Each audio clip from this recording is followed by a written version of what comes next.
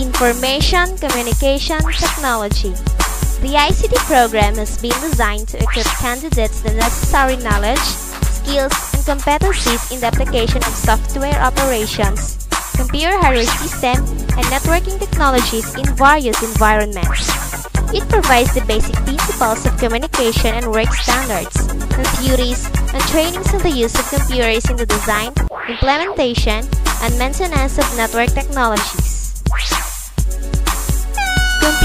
Hardware Servicing NC2 This course is designed to develop knowledge, skills, and attitudes of a computer service technician in accordance with industry standards. It covers basic and common competencies such as installing, maintaining, configuring, and diagnosing computer systems and networks. The Computer Hardware Servicing NC2 qualification consists of competencies that must possess to enable to diagnose and troubleshoot problems in personal computer systems, software, replace parts and get the system back to normal operation. The student of this program installs, troubleshoots, and repairs and maintains personal computer systems and maintains and troubleshoots network including file servers, workstations, cable, NIC cards, shared resources such as printer, hard disk install, network operating systems, hubs, switches, and routers. The modules in this program will be delivered through interactive discussion in the classroom utilizing visual aids and other teaching materials to gain the knowledge and laboratory classes to acquire the required skills and competencies. Take-home reading assignments may also be given from time to time. Entry requirements. The candidates or trainees must possess the following qualification must be able to communicate both oral and written, physically and mentally fit, with good moral character, can perform basic mathematical and logical computation, analytical and logical thinking.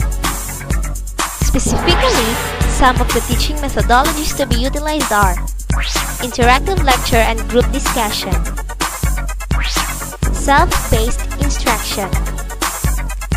simulation, individualized learning, and the job training. Through the core units of competencies, the trainees or students are expected to install computer systems and networks. In this unit of competency, the student can familiarize various computer systems, components, and peripherals, configure computer systems and devices, troubleshoot and isolate PC hardware problems, diagnose and troubleshoot hardware conflicts, diagnose and troubleshoot computer systems. In this unit of competency, the student can hand tools and its uses, install operating system, use software as tools for diagnosing computer problems, repair and replace of different computer components, configure computer systems and networks. In this unit of competency, the student can configure system and networks, test normal function of systems and networks, inspect systems and networks, maintain computer systems and networks.